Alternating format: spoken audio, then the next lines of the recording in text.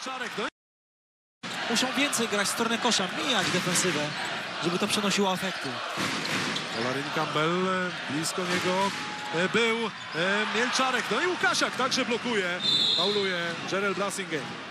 O proszę, i Łukasiak się odgryzł tutaj